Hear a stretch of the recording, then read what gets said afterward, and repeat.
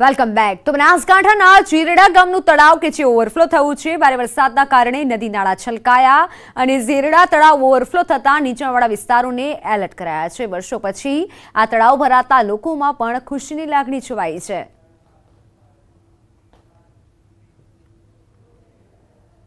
News એટીની team અત્યારે જેડા પહોંચી છે. જેડાનું જે ગુલાબ સાગર તળાવ છે, તે તળાવ ઓવરફ્લો થયું છે.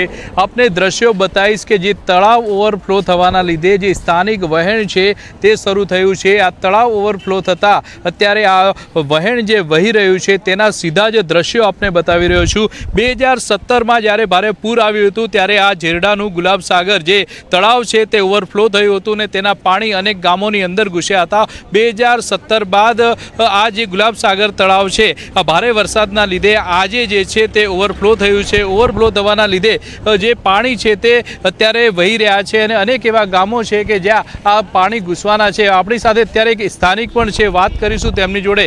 આ જે ગુલાબસાગર તળાવ છે, ઓવરફ્લો થયું છે. આ પાણી કયા કયા ગામોની અંદર જશે? પમરુ ખેરોલા, પેસડાલ, કમોડી, કમોડા વરણ જેનાલ, તે બધા ગામમાં પાણી જાય છે.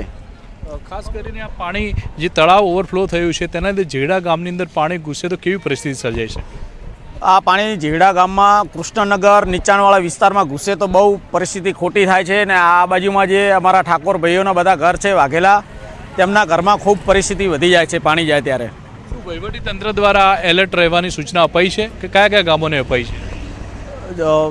તંત્રએ આપણે જેડા ગામમાં પમરુ પેછડાલ કમોડી કમોડા વરણ ચેનાલ બધા ગામમાં એલર્ટ કરેલા છે કે પાણીથી સાવચેત રહેવું. બે હજાર સત્તરમાં જ્યારે આ તળાવ ઓવરફ્લો થયું હતું ત્યારે કેવા દ્રશ્યો સર્જાયા હતા અને કયા કયા ગામોમાં પાણી ઘૂસ્યા હતા? જેડા ગામમાં જે સાઈડના વિસ્તારોમાં બહુ પાણી ઘૂસ્યા હતા અન્ન ખાવાનું બી હતું નહીં ઘરમાં બીજા આગળ બી ગામમાં બહુ ઘૂસ્યું હતું પાણી ખૂબ પા સર્જાયું હતું પાણીના લીધે. બે હજાર સત્તર પછી ફરી એકવાર જે આ જે ગુલાબસાગર તળાવ છે તે ઓવરફ્લો થયું છે. આ તળાવ ઓવરફ્લો થવાના લીધે અત્યારે તો સ્થાનિક વહેણોમાં તેનું પાણી જઈ રહ્યું છે. પરંતુ જો સ્થાનિક વહેણોમાં પાણી વધે તો અનેક એવા જેડા આજુબાજુના ગામો છે ત્યાં સંકટ આવી શકે છે અને જે ગામો છે તે ગામોના લોકોને સ્થળાંતર કરવા પડી શકે છે. કિશોર દુવર ન્યૂઝ એટીન ગુજરાતી, બનાસકાંઠા. તો બનાસકાંઠામાં ભારે વરસાદ બાદ તારાજીના દ્રશ્યો સામે આવ્યા. કાંકરેજના ખોડા ગામમાં પાણી ભરાયા. ઘરોમાં પાણી ભરાતા ગરવખરીને મોટા પ્રમાણમાં નુકસાન થયું અને નીચાણવાળા વિસ્તારોમાં પણ ઘૂંટણસમા પાણી ભરાઈ ચૂક્યા છે. બે દિવસથી અવિરત વરસાદ થઈ રહ્યો છે અને જેથી આ તારાજીના દ્રશ્યો સામે આવ્યા છે.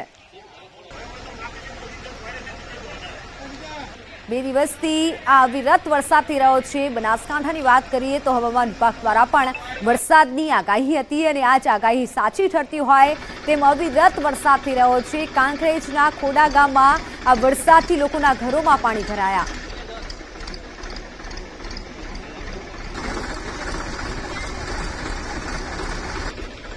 અન્ય મહત્વના સમાચારની વાત કરીએ તો દારૂબંધી મામલે અશોક ગેહલોતનું મોટું નિવેદન સામે આવ્યું ગુજરાતમાં દારૂબંધી માત્ર કાગળ પર જ છે તેવું ગેહલોતનું કહેવું છે